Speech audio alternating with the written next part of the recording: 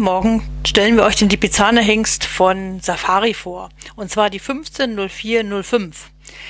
Ja, es ist natürlich wieder kein Pferd aus dem laufenden Programm, obwohl wir es noch da haben. Ich habe das auch gerade erst festgestellt, dass ich das zweite Pferd, was ich von Safari vorstelle, wieder ein Pferd ist, was nicht im Programm ist.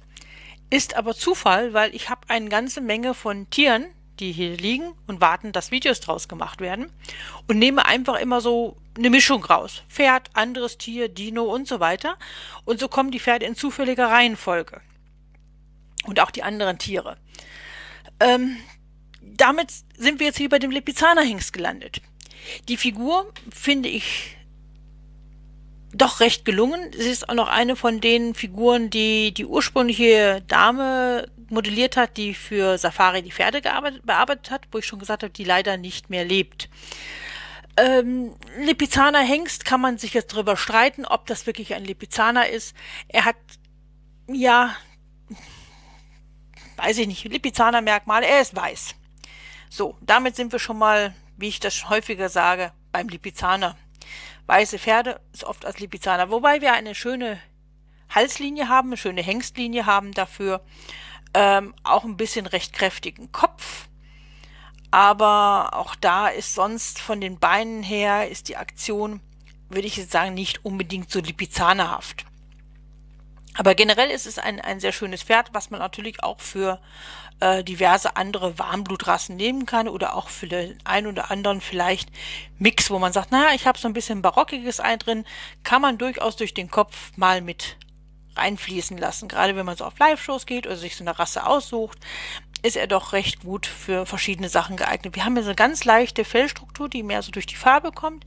Die Mähne ist ein bisschen geteilt auf zwei Seiten. Er ist also nicht gestylt für eine Hofreitschule, sondern so, wie er normalerweise ausschaut. Die Augen, ja, sie sind bei dem Modell nicht gerade gleichmäßig bearbeitet. Aber er hat natürlich schöne, dunkle, große, gegloste Augen. Die Nase ist dunkelgrau, ein bisschen auch geglost. Die Hufe sind leider ganz schwarz oder sehr, sehr dunkelgrau, dass ich das nicht mehr erkennen kann. Was ich ein bisschen schade finde, weil natürlich haben die Pferde keine schwarzen Hufe, die wären dann schon doch hell. Also ein Pferd, was hier so weiß ist, hat natürlich auch ähm, helle Hufe. So, ein Schweif haben wir hier noch auch nochmal, komplett weiß.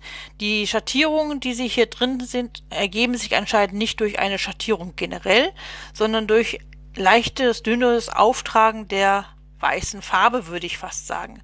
Also ich könnte mir jetzt vorstellen, dass da an bestimmten Stellen weniger weiße Farbe aufgetragen wurde. Ich kann es nicht genau erkennen oder ob es vielleicht dann doch nochmal drüber gemalt wurde. Oder es ist vielleicht auch eine Mischung aus beiden, dass man ein bisschen schattiert hat und ein bisschen die Farbe recht dünn aufgetragen hat an einigen Stellen. Hier sieht man, dass es ein Hengst ist. Die haben die typische Nummer, also was sie immer laufen, äh, die Batchnummer drunter gestempelt, was ja auch immer sein muss. Und da steht natürlich auch drin, Lipizzaner Hengst und dann äh, Copyright 2013 schon von Safari, auch wenn das Pferd selber, wie man hier sieht, von 417 ist. Hufeisen sind drunter gemalt. Die Hufe selber sind auch ein bisschen nachmodelliert. Also soweit alles ganz gut. Und ich finde ihn als schön. Also wenn man ihn so hinstellt, dadurch, dass er, ich versuche es ja immer mehr vorzustellen, wenn sie irgendwo in einem Stall stehen, wo man auch sie bespielt, oder vielleicht auch einen Stall als Diorama hat, oder generell so einen Setzkasten oder eine Schrankwand, ein Regale, was auch immer, sieht er natürlich sehr schön aus, weil dadurch, dass er ganz weiß ist, er natürlich ein bisschen hervorsticht.